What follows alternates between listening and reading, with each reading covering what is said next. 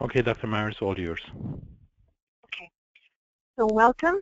Uh, today's webinar is uh, called Psychogenic Non-Epileptic Seizures, What a Psychologist Needs to Know. Uh, I am Lorna Myers, uh, the Director of the PNES Treatment Program at the Northeast Regional Epilepsy Group. And although the title says what a psychologist needs to know, the objective of the webinar is in fact to provide a brief introduction to PNES for all mental health professionals, including psychologists, but also psychiatrists and social workers. So a brief overview of what we're going to talk about today, beginning with an introduction to PNES. Uh, we're going to go over some definitions and facts, how it's diagnosed, and what the comorbid psychiatric conditions associated to PNES are. We'll also talk about why psychologists are so important in the treatment patients with PNES and what do we know about the utility of existing treatments that can be employed. We'll discuss general recommendations for psychologists or mental health professionals who are planning on treating a patient diagnosed with PNES. And at the end, uh, we'll go over some resources for professionals who are working with uh, this disorder, as well as for uh, patients that are living with this disorder. So starting out with uh, just three very basic definitions. We're going to define seizures, epilepsy, and PNES. Seizures are defined as an involuntary behavioral change. It can involve movements of body parts, alterations of consciousness, loss of certain functions, for example, speech or vision. Uh, seizures can be generalized, affecting the entire body, or partial, affecting only part of the body. And seizures can be seen in both epilepsy and in PNES. The definition of epilepsy is uh, that um, this is a diagnosis that is given to a person after they have had more than one seizure and the seizures are unprovoked, meaning that there was not a drug or alcohol uh, that was consumed that provoked that seizure. And the seizure that occurs during epilepsy is associated with an abnormal electrical activity in the brain. PNES seizures in PNES can appear very much like an epileptic seizure. Behaviorally, they resemble an epileptic seizure and can be very hard to discriminate. But they do not demonstrate epileptiform activity during recording of brain waves when an EEG is being used.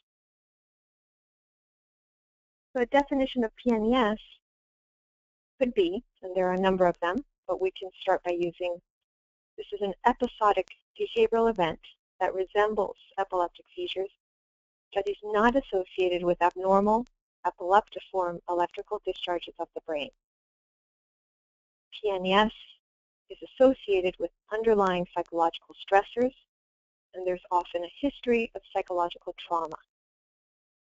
PNES is not a single entity, but rather a diagnosis that is given due to the symptoms of seizures but which is associated with multiple psychiatric comorbidities. The seizures are conceived of as symptoms of an underlying psychological condition. The reason this is underlined is because this is clearly a psychological condition, and uh, this is why we are discussing this today as mental health professionals. As per DSM-5, PNES is classified as a conversion disorder or a functional neurological symptoms disorder. Functional referring to some form of abnormal central nervous system functioning of unknown etiology. They are now, at this time, typically called either PNES or FNSD. And this uh, definition or this uh, um, diagnosis uh, requires a few criteria. A, would be that there is one or more symptoms of altered voluntary motor or sensory functions. B, clinical findings. Symptoms are incompatible with medical or mental disorder. C, symptom of deficit is not better explained by another medical or mental disorder. And D, these symptoms are causing significant distress or impairment in social, occupational, or other important areas of life. and they are typically uh, considered F44.5, which would be uh, this uh, conversion disorder, or FNSD, with attacks or seizures. There are a number of risk factors uh, in those who have PNES. I'm going to list just a few. The one that stands out quite a bit is that there is often a history of traumatic or adverse life experiences, including significant health events as well as physical, sexual, emotional abuse, major losses, deaths, and so forth. There's a history of psychiatric disorders that often includes depression, anxiety, post-traumatic stress disorder, and personality disorders. And there is often a history of medically unexplained symptoms. PNES, uh, from a historical perspective, has been around for a very long time. Uh, these seizures, psychogenic seizures, are the most common paroxysmal events that are misdiagnosed as epilepsy. They tend to fall in an intersection between neurology and psychiatry psychology, which complicates smooth transitions to treatment. PNES has been recognized historically for a long time. There have been some somewhat unusual uh, theories and explanations as to what um, is causing these seizures, including uh, some of the more colorful ones, uh, wandering uterus, um, where it is suspected that seizures might be resolved by becoming sexually active or having children, and that in some way, uh, perhaps through sexual repression, um, these seizures have come about. And there have also uh, at times been uh, explanations of demonic possession. Although this is now almost completely in history, um, I have encountered patients uh, in the 20th and 21st century um, who are uh, still sometimes being told by their family um, or by people who know them that um, what they're having could possibly be explained by one of these uh, theories. PNES has been around for a very long time, and if any of us have uh, taken Psychology 101 courses, um, and we ever read uh, anything about Charcot or Breuer or Freud, we've read about uh, hysteria and the use of hypnosis, dissociation, conversion of psychic symptoms into physical symptoms, uh, the famous case of Anna O, and the importance of psychological trauma, which began to be understood way back then. This is the history of PNES with a lady uh, here who is uh, um, has apparently fainted and is being uh, examined by this group of doctors. Although this happened historically, it continues to happen. The only difference is that now uh, most of these patients are not seen um, in regular medical settings, but rather in epilepsy centers. Just a few more facts. What is the correct name for PNES? We are calling it PNES throughout this presentation, but there are some uh, terms that continue to be used and that are um, either deemed to be offensive or have been abandoned um, by uh, most health professionals, but they still linger from time to time. The current acceptable term is psychogenic non-epileptic seizures, PNES, or uh, as in England, um, non-epileptic attack disorder, NEAD, N-E-A-D terms that have or should be abandoned uh, and that um, tend to be uh, rejected quite vehemently by uh, patients uh, is pseudo-seizures, hysteroepilepsy, or hysteria. Uh, in particular, pseudo-seizures uh, continues to be used by a number of professionals and um, there is a growing movement uh, that is a grassroots movement uh, that is opposed to this uh, term because it has connotations um, that uh, refer to faking or to somehow presenting things consciously and for a secondary gain. Um, so it is recommended that if you are uh, working with these patients, um, you should not be using this term anymore and you should be using a much more descriptive and accurate term of PNES or NEAD. A few more facts about PNES. PNES occurs most frequently between the ages of 20 to 40 years, but it can happen uh, that uh, someone much younger or someone older than that develops PNES for the first time. It is much more common in women with a 3 to 1 ratio. The average time that elapses between the first seizure and a definitive diagnosis is 7.2 years. Often these patients are diagnosed with epilepsy and are treated with anti-epileptic medications. Uh, these medications are unnecessary and are also not helpful. Uh, there are a number of patients who've also had experiences in emergency rooms um, where they are taken by emergency personnel. Uh, they're intubated. They are treated with medications that are not um, appropriate for PNES. Um, so this is a very worrying um, average time between first seizure and the definitive, definitive diagnosis of PNES. And it would be uh, really a, a very, very important goal to shorten this time. Up to 20 to 30 percent of patients evaluated on an inpatient epilepsy monitoring unit uh, may be diagnosed as having PNES. Um, so there are a large number of these patients that eventually end up in the uh, funnel of the uh, epilepsy monitoring units in hospitals. Uh, estimates of PNES prevalence uh, ranges from 2 to 33 out of every 100,000 persons. Uh, this is uh, from a uh, publication that Benbadis and Hauser uh, put out in 2000. And approximately 5 to 10 or 10% are dually diagnosed with PNES and epilepsy.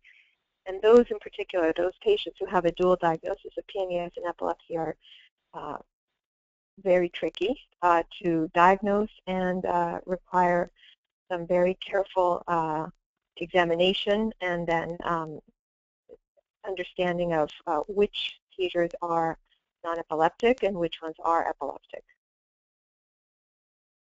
So how is PNES diagnosed? And we're not going to talk about this too much, but this is the important first step uh, usually that precedes uh, the entry of the mental health professional, but is incredibly important to have uh, had uh, the diagnosis confirmed, and this is uh, how, how it is at this point uh, being confirmed. Uh, PNES can have a multitude of presentations.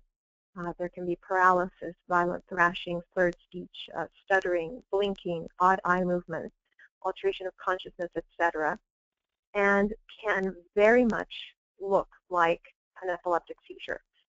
So a simple observation, visual observation of the seizure, uh, although there are some key signs that uh, neurologists and epileptologists uh, may use if they, uh, if they suspect that there is PNES.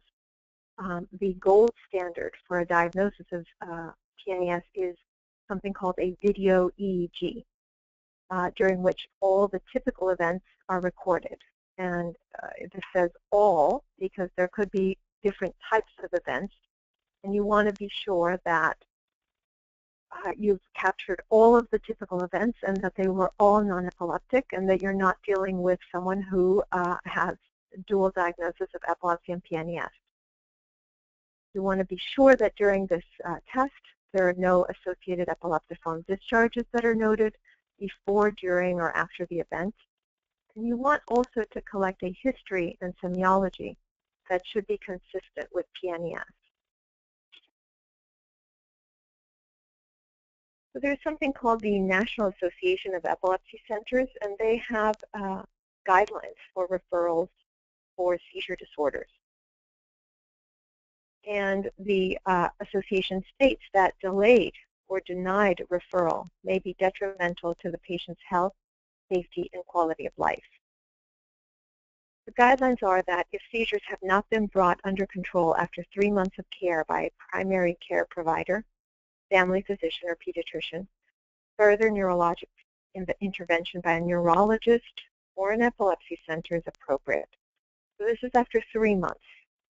Uh, a general practitioner has been seeing the patient. There is no uh, improvement. uh, so then um, the referral is made to the next level of specialist. If seizures have not been brought under control after 12 months while being treated by a general neurologist, a referral to a specialized epilepsy center epileptologist should be made.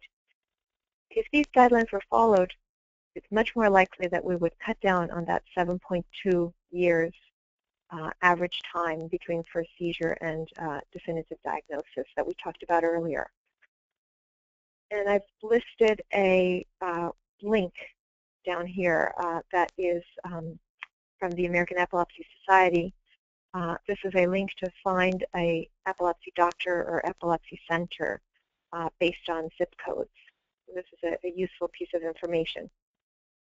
If you are seeing a patient who is having uh, seizures and is not responding, um, it would not be inappropriate to uh, discuss uh, the possibility of needing a second opinion, and this would be a, a good place to start to look for um, an epilepsy specialist. So how is PNES diagnosed? We've got a picture here of what a video EEG uh, machine would be like. Uh, the patient is hooked up to an EEG um, through uh, leads on the scalp. And these leads, actually I'll show you something else. The patient is hooked up in, in this way with uh, leads placed on the scalp. And then this uh, right here, which are these wiggly lines, are the brain waves that are being picked up by those leads. And this is a camera that is filming the patient while the study is, is ongoing and this is where you would see um, what is being filmed.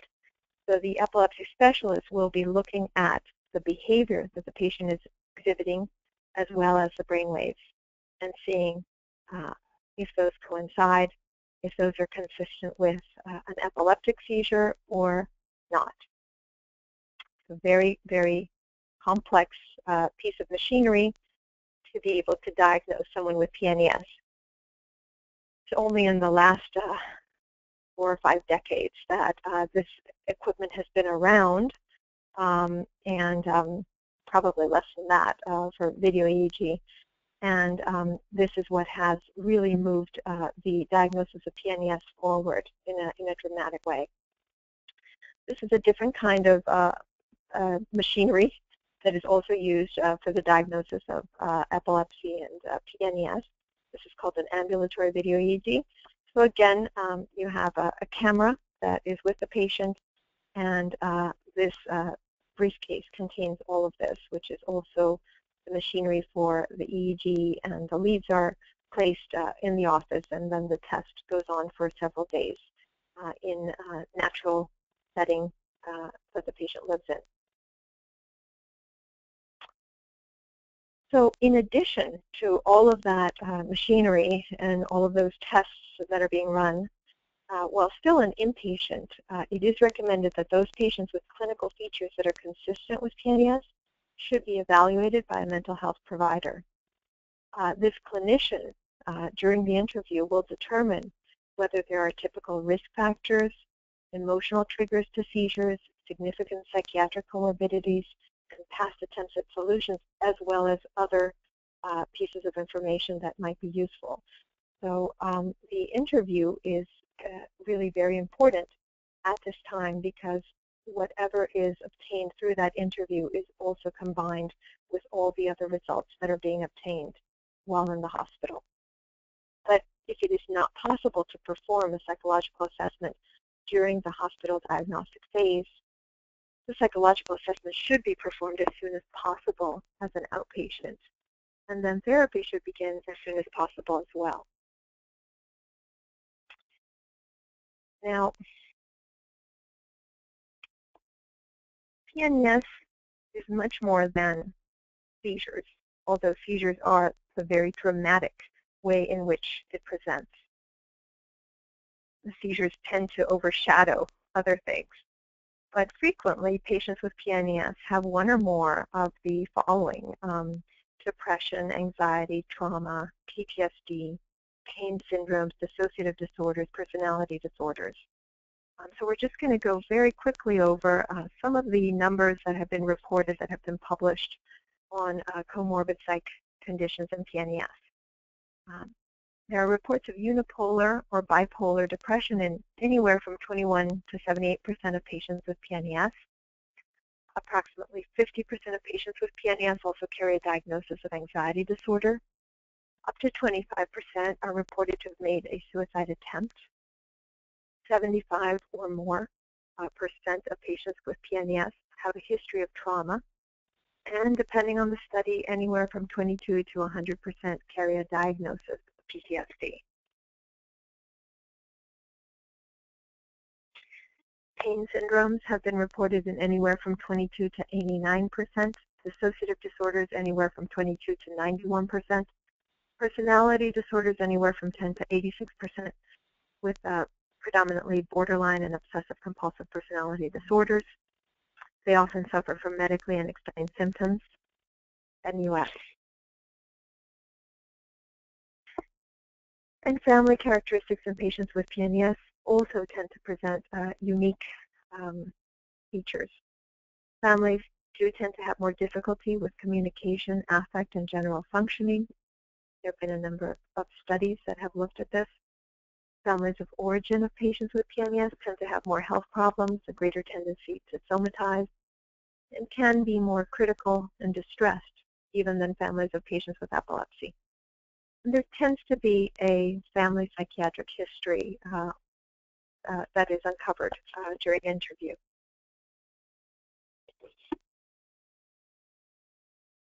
Approximately 30% of patients with PNES fulfill a criteria for alexithymia. Emotional processing is a serious issue.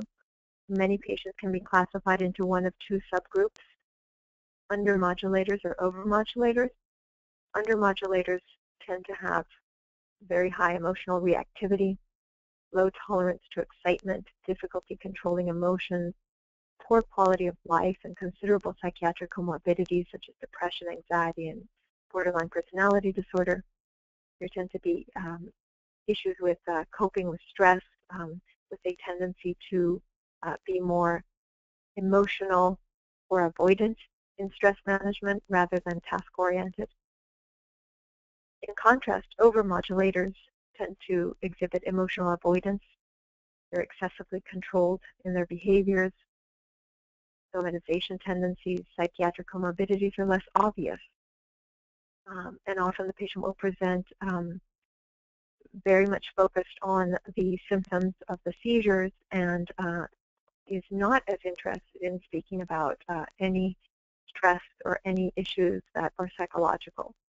Uh, now, these patients can be resistant uh, to the psychogenic diagnosis, but with clear explanations and patience, they too uh, do understand and benefit from treatment. Um, it just uh, requires a different approach. So we're going to shift over now to what treatments are available.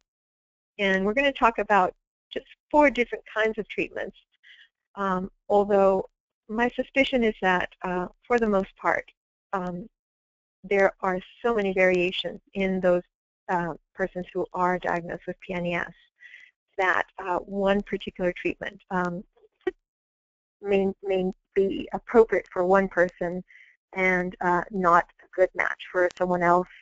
May also depend on uh, what time uh, in the uh, in the life of the of the disorder we are meeting the patient, um, and these are uh, the four treatments that we are going to be talking about are the ones that have been uh, reported and, and empirically uh, studied. Um, but there may be uh, other treatment approaches that are quite useful and that are simply not mentioned because uh, this is a very brief review of um, what has been published so far. So definitely psychotherapy is the indicated mode of treatment once the diagnosis of PNES has been made and there is empirical validation and reports of utility of the following treatment approaches, uh, including psychodynamic therapy, mindfulness-based therapy, cognitive behavioral therapy, which includes prolonged exposure uh, for dually diagnosed PNES and PTSD patients, and psychoeducational group interventions. I've put a star next to cognitive behavioral therapy because this is the uh, modality that has been most uh, examined and is at this point uh, showing the uh, strongest results.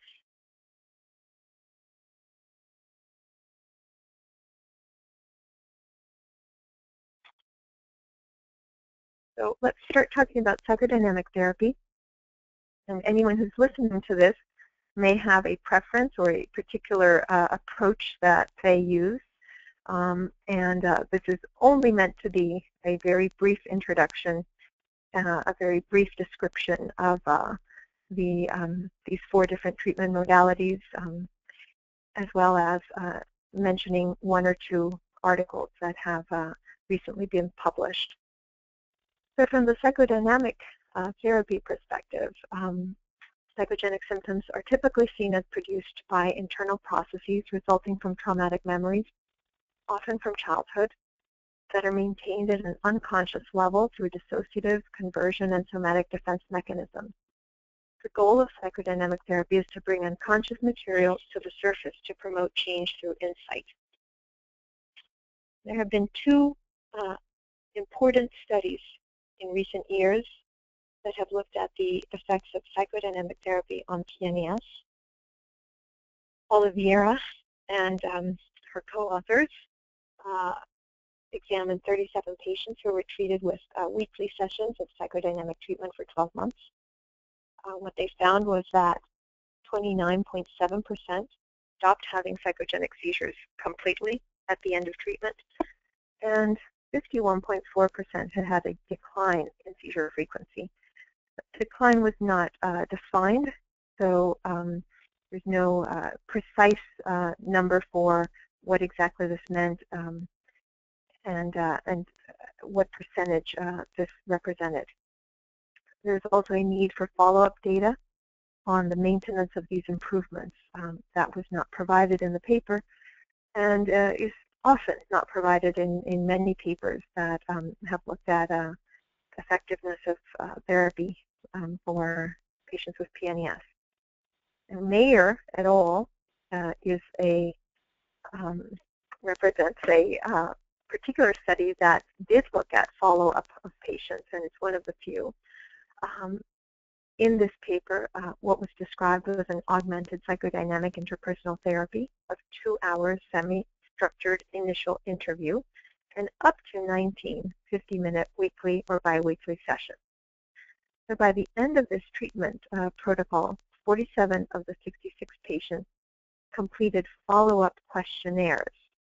A total of 66 patients completed the treatment, but only 47 of 66 completed the follow-up questionnaires at a median of 42 months. Uh, and this went anywhere from 12 months to 61 months. Of those 47 patients, uh, 12 a total of 25.5%, uh, reported that they were event-free, and 19, a little bit over 40%, had experienced a greater than 50% reduction in event frequency at the follow-up period compared to baseline. These are two uh, important studies that have uh, been recently published and that uh, are supportive of uh, psychodynamic therapy as effective uh, for PNES.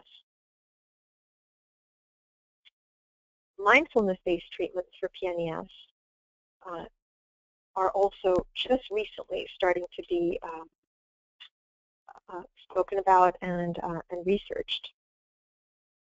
Mindfulness involves being aware moment to moment of subjective conscious experiences. The regular practice of meditative practices improve attention and emotional regulation as well as body awareness. All of these are key targets in a disorder such as PNES, so it makes perfect sense from a theoretical perspective that this would be a good approach to use with uh, patients with this diagnosis. Um, particularly patients uh, with PNES often present with alexithymia and uh, the difficulties that we talked about before with under over modulation of emotions, and they tend to avoid distressing thought content and so forth. So mindfulness uh, comes in uh, and really targets those uh, aspects quite beautifully. Uh, with this treatment modality, experiential avoidance, uh, avoidance is challenged while personal values are delineated, and that provides patients with healthier, consciously chosen behavioral pathways. that can uh, replace the seizures. And there is a uh, researcher, a neuropsychiatrist, uh, Gaston Baslet, um, who's at uh, Brigham and Women's Hospital in Boston, who has been really spearheading research in this area. A recent article that he uh, published um, in 2014 uh, reported that of a total of six adult females who were enrolled in a 12-session mindfulness protocol, um, by session 12, all had a reduction in event frequency, and three of six had stopped having episodes completely. There were also improvements in depression and anxiety. The treatment components are um, psychoeducation and goal setting, stress management training, mindfulness training, emotion recognition, acceptance, and behavioral regulation. So these are the uh, targets uh, for this particular treatment. Move on now to cognitive behavioral treatments for PNES. CBT operates on current maladaptive thoughts, behaviors, and feelings with the aim of producing healthy changes. This approach proposes that core beliefs of oneself, others, and the future can be modified through certain interventions, and dysfunctional thoughts and behaviors related to conversion symptoms can be challenged and changed. The CBT is the psychotherapeutic approach that has been reported to have the highest level of efficacy evidence at this time for PNES. And there are a number of studies uh, that are uh, very good and uh, very thorough. Uh, we will just talk about uh, two of them. Uh, Goldstein and, and et al. Um, from 2010 published a randomized controlled pilot study in which a group received treatment as usual, TAU, and the other group received CBT. The treatment components were treatment engagement initially, reinforcement of independence, distraction, relaxation, and refocusing techniques when an episode was imminent, graded exposure to avoided situations, cognitive restructuring, and relapse prevention. The CBT group experienced a significant reduction in monthly episodes. Frequency uh, for treatment as usual group uh, was at a median of 6.75 monthly episodes, while those who received CBT plus treatment as usual were experiencing two monthly events. However, at six months follow-up, the statistically significant difference was lost, although improvements were maintained. Another study uh, that we'll talk about is a study by uh, Curt LaFrance, 2014. And uh, in this study, he conducted a multi-center pilot randomized study that produced Class 1 data. A total of 34 patients were enrolled into one of four treatment arms. Those arms were 1. Flexible dose sertraline hydrochloride only. 2. Cognitive behavioral informed psychotherapy. 3. CBT informed psychotherapy with sertraline. And 4. Treatment as usual. Both the CBT IP alone and the CBT IP with sertraline showed the most uh, improvements. Uh, the CBT only group showed a 51.4% uh, uh, reduction in event frequency and a significant improvement on several secondary measures of depression, anxiety, quality of life, and global functioning. The CBT plus sertraline uh, arm showed significant reduction of a 59.3% in monthly events and significant improvement on secondary measures of global functioning. Now, there is a need for follow-up data on uh, maintenance of the improvement that was reported in this study. I am not aware of uh, any follow-up data that has been published at this point. And we'll just very quickly go over what the CBT IP that we were mentioning in the previous slide is about.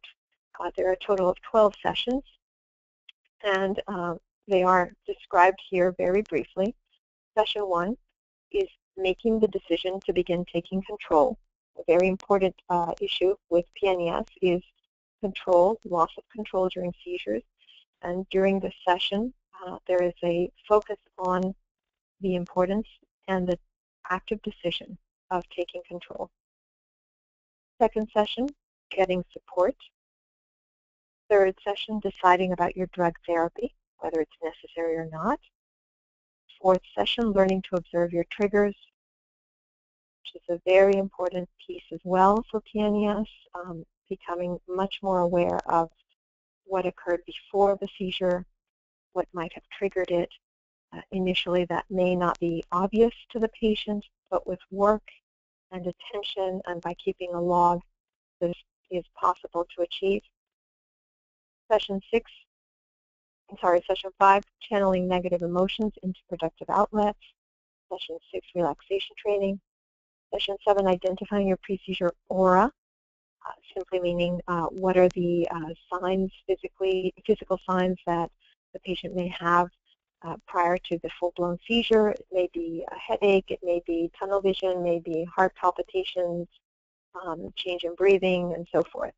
Um, so uh, working with the patient so that um, they identify what this aura is.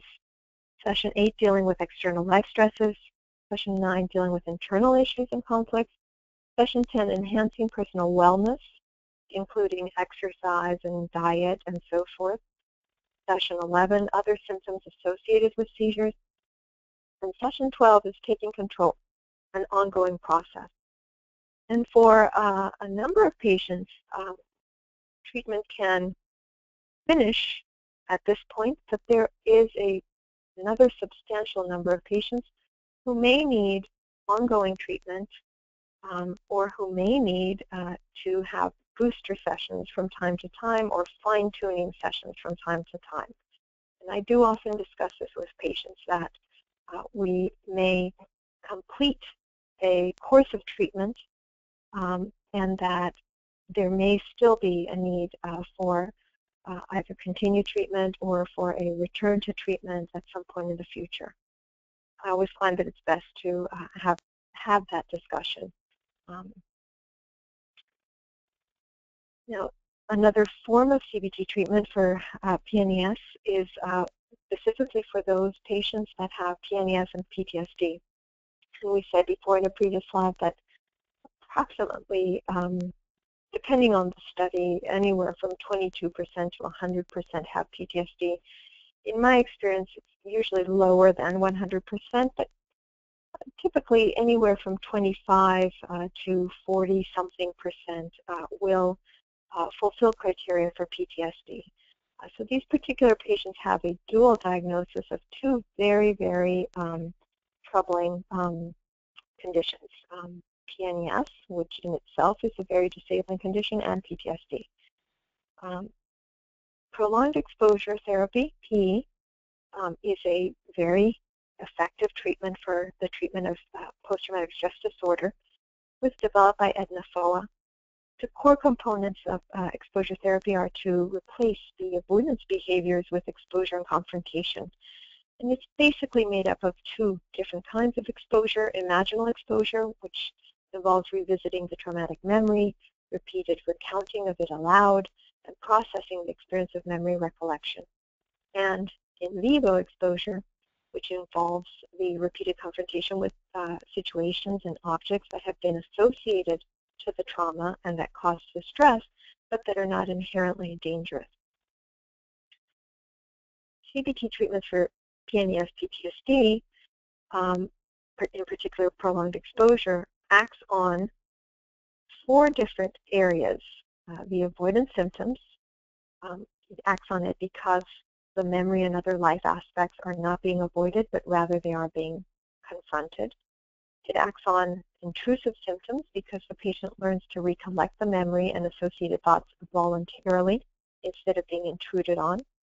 It acts on hypervigilance because the patient learns that many of the dangerous situations are in fact safe and because intrusive symptoms come down. And it acts on negative thoughts and mood because there's a sense of achievement and regained confidence. In particular with PTSD and PNES, uh, PE, in, in my view, is not only acting on those four aspects that we talked about, negative thoughts and mood, intrusive symptoms, hypervigilance, and avoidance, but it is also acting on the seizures, which represent an avoidance 2.0 type of mechanism. Now, in 2015, uh, there's a study uh, that um, we have just uh, presented and will be presenting at uh, the American Epilepsy Society. Um, seven adults uh, were enrolled. They were dually diagnosed with PNES and PTSD. They completed 12 to 15 weeks of PE, and the results uh, showed that there was a significant reduction of depressive symptoms, post-traumatic symptoms, and seizure frequency. Follow-up at anywhere from 2 to 27 months, depending on the patient, revealed that all patients had maintained improvements regarding seizure frequency, except for one patient who had suffered a bit of a reversal, had not gone back to where she had been initially, but um, was having an increase of seizures compared to when she uh, completed treatment. Five of these seven were either working or enrolled in school. This is a very important finding because there is such a high incidence of disability and chronicity in this patient population. And um, the fact that these patients uh, were resuming activities uh, was very important. So key with patients uh, with PNES um, in this uh, particular study was administered according to the manual with some modifications that included specifics of PNES and to address overengagement. And the treatment components are the same as uh, one would find in the, uh, in the actual manual.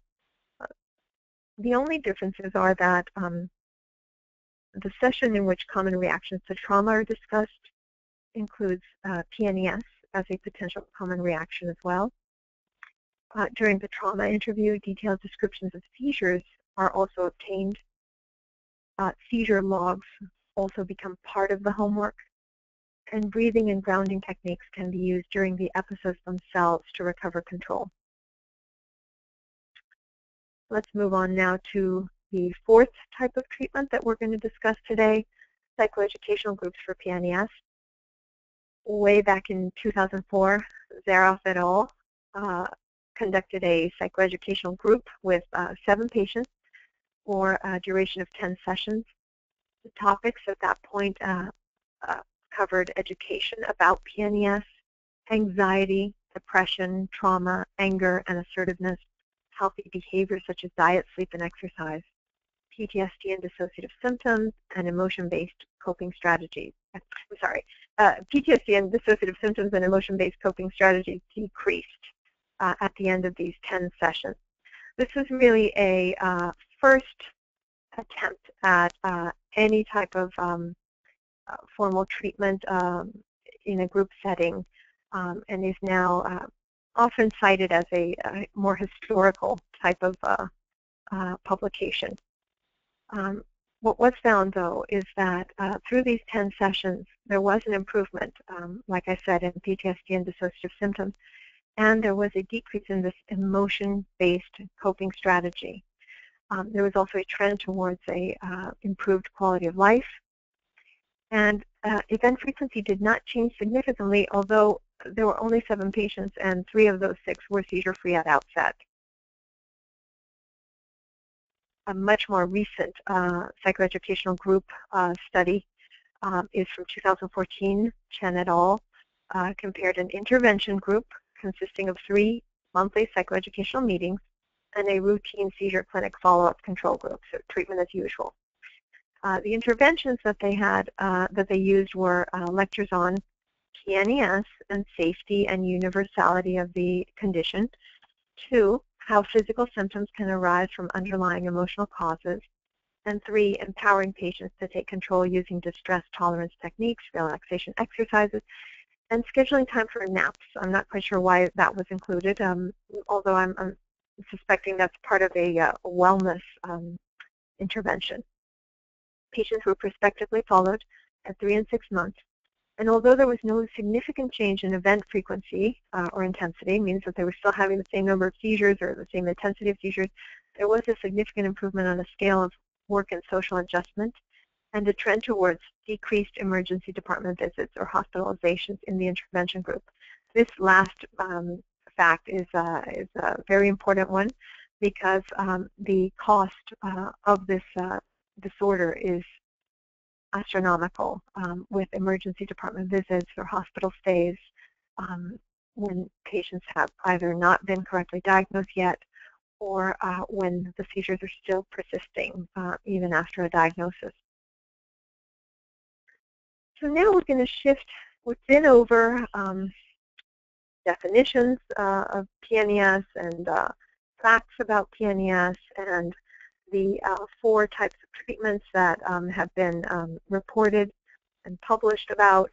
Um, and now we're going to shift uh, to just some recommendations, common sense and practical recommendations for psychologists. So this is based on my experience of working with uh, patients with PNES now for over 10 years. And um, it is simply my perspective or my recommendations, uh, not to be written in stone, but they have been useful for me. And um, I expect that they might be useful for someone else who is just starting to work with uh, patients with PNES.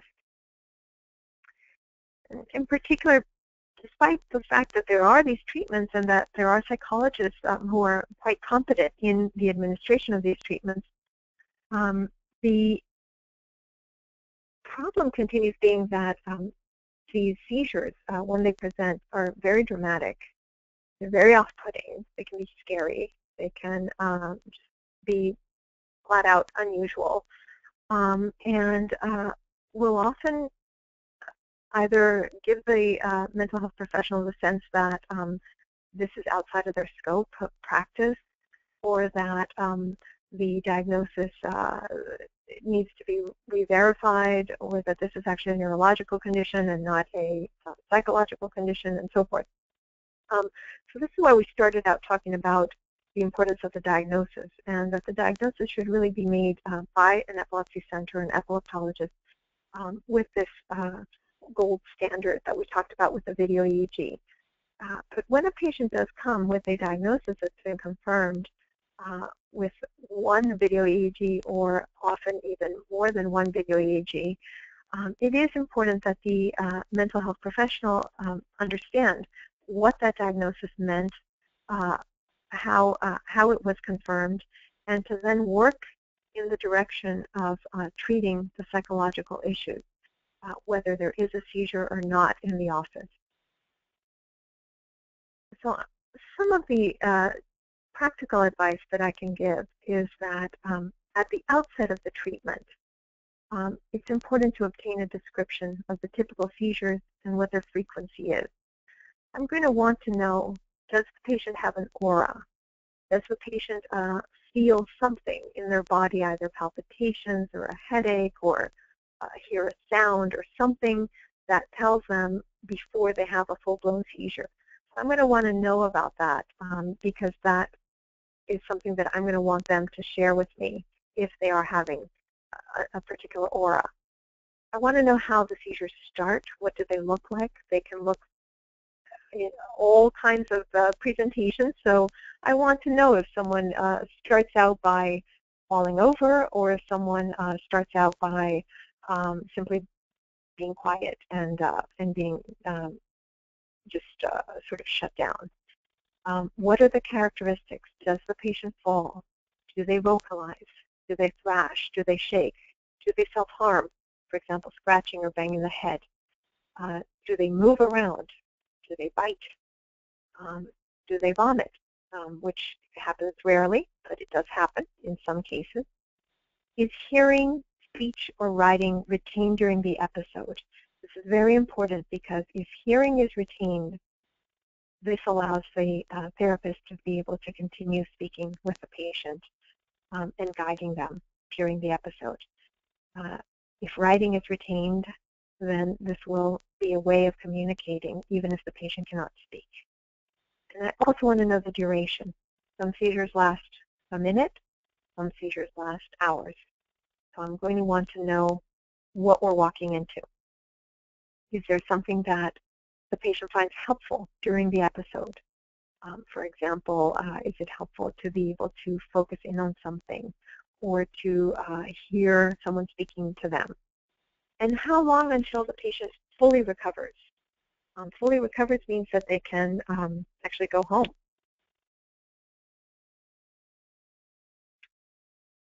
I'm always also going to make sure right at the beginning that I have an understanding with the patient that I or you, the therapist, will be uh, perhaps touching them during the episode. So you're going to come to an agreement as to what part of the body is safe to touch and if there is a part of the body that cannot be touched. So for example, if the patient was perhaps bound by the wrists during the uh, traumatic events that occurred, um, then wrists may be off limits. Um, is it okay to squeeze an arm or a shoulder, uh, which is usually my preferred um, place of, uh, of, of, touching a patient. So just touching the arm or touching the shoulder or stroking the hand. Um, and if the patient falls, I also want to make sure that it's understood that, that I may need to hold the patient to avoid injury or hold their head to avoid injury or maybe need to lift their head to place a pillow under it.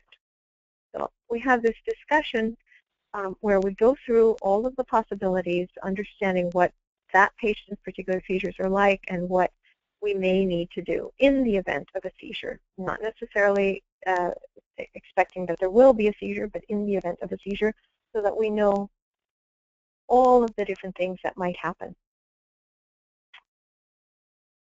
Another recommendation for a psychologist would be that you do want to ensure that the patient is safe from injuries. And this may sometimes require making necessary modifications um, to the office during the session. Questions to ask yourself, does the session need to be conducted on a carpeted floor? So off the chair and onto the floor. Is there wooden or hard furniture that needs to be moved out of the way? Do you have a pillow that you can perhaps place under the uh, patient's head? And if the patient, for example, scratches uh, themselves? Should they use mittens? These are just some examples. I typically begin therapy by teaching uh, a breathing retraining exercise. And I make sure that it's well practiced and learned. Uh, breathing retraining exercises are going to be a key part of uh, therapy and of interventions during uh, an actual seizure.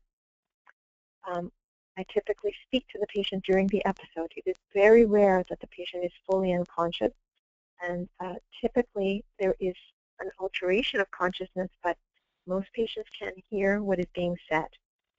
Uh, I use this uh, as a grounding uh, technique where I'm reminding the patient that they are in my office.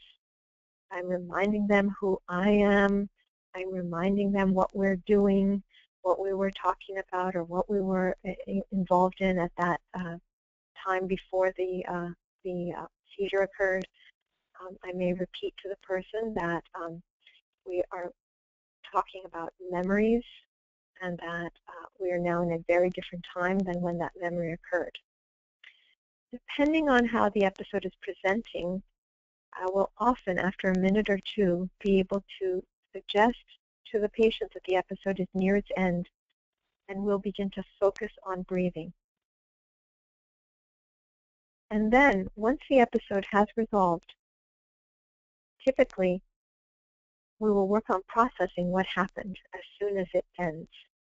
So I think it's very important to know that it's not necessary to stop a session just because of an episode.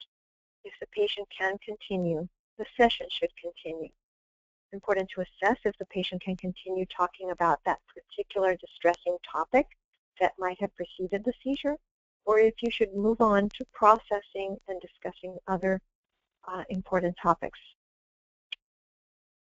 Uh, a number of patients have complained to me that uh, sessions are often cut short as soon as they have a seizure. While it is very, very possible that uh, the patient will recover and can continue and in fact, you get a lot of good work uh, done after the seizure. Um, and you also get the chance to show uh, the patient that that particular avoidance mechanism uh, occurred, that they were able to control it, come out of it, and that they can continue to work. An important recommendation for a psychologist or any mental health professional would be to not leave the patient alone or allow them to leave the office until they are recovered. What I will often do is, uh, if um, I am at all concerned that a seizure might occur and that it'll be hard for the patient to leave the office, I will ask them to have someone accompany them um, to the appointment and wait in the waiting room. If the patient came by uh, himself or herself, uh, we'll make sure that we have an emergency contact number from the outset that we can call. And the patient will wait until the uh, companion can come. If there's an exam room, the patient can sometimes rest there or remain in a waiting room. And I'll sometimes ask my office staff to monitor um, if I'm with another patient. Uh, this last point is uh, a very important one. Unless the patient has hurt herself or himself during the episode, for example, fell and hit her head um, or has some sort of other injury, or if the episode is notably different than any other typical episode, or if the patient is not responsive, I typically avoid calling 911.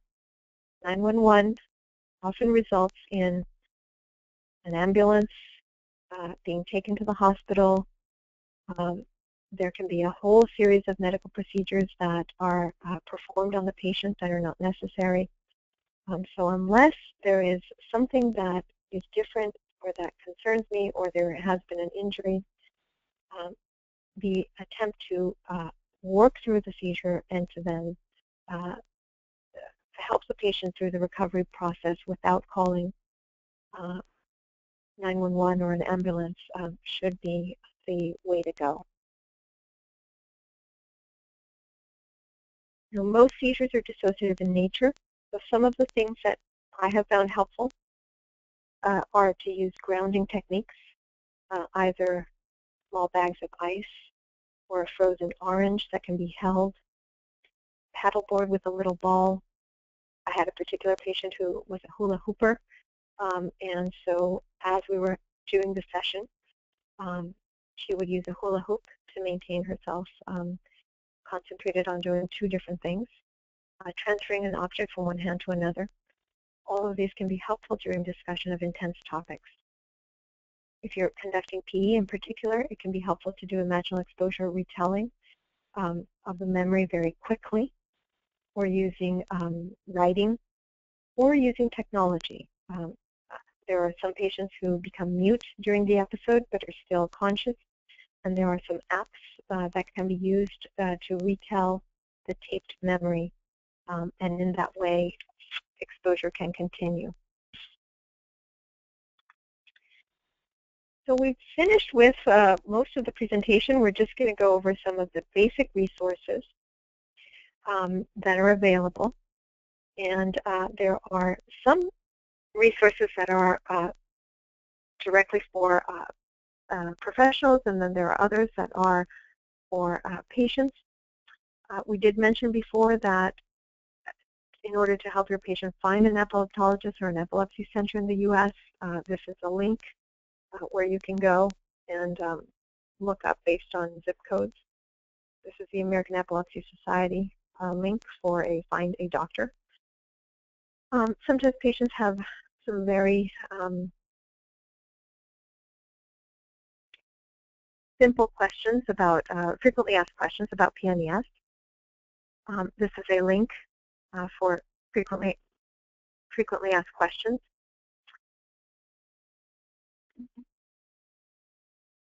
PNES treatment referral sites. This is another link for a uh, total of 15 states are represented in these uh, referral sites uh, here in the U.S. I would love, I would love for there to be a total of 50 um, states represented. Um, so, if someone who is listening to this webinar is a uh, mental health pro professional who is interested in working with PNES, who has experience working with PNES, and who would like to be listed, um, you should contact me. I'm going to provide my email at the end of this presentation. I usually um, do uh, contact and speak with uh, the um, people who are listed uh, on these uh, um, on this page. um, just to have a better understanding of uh, what sort of work you are doing with PNES and uh, what your approach is and, and so forth. And also so that we can make uh, a connection. Some of the, there are a number of professional resources. I'm just going to mention three. Um, there is a review paper that is hot off the presses. It's not even hot off the presses yet. It, it's still in press. Um, this is something that uh, uh, we worked on uh, with a group of um, uh, researchers and clinicians uh, who specialize in PNES. Um, and it is now in press uh, in the journal Psychosomatics. Um, it is called Psychogenic Non-Epileptic Seizures, an updated primer.